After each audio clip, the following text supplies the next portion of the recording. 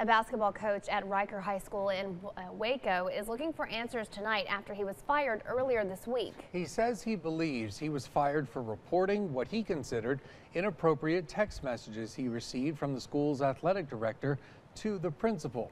Channel 6 News reporter Curtis Quillen is here with more. Curtis? Doug and Leslie, Derek Harris just led the boys basketball team at Reicher to their best season in more than a decade. Tonight he's without a job and he says he doesn't know why. Like you said, he believes it's because he reported inappropriate text messages that he received from Reicher's athletic director, Mark Sloat.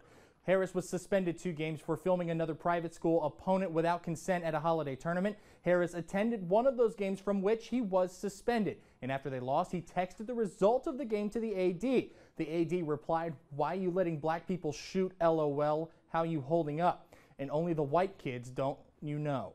It's also worth noting Harris was suspended an additional three games because he was yelling from the stands from one of the, those first two games of his suspension. But tonight, Harris is out of a job and without answers from school administration. I reported these comments to our, um, our principal, which is our superior of the AD and myself, because I didn't think I can talk to him about it because he was actually the one that made the comment. So, and he, him being my boss, I figured I'd bring it to them and we can see um, what the situation was with that.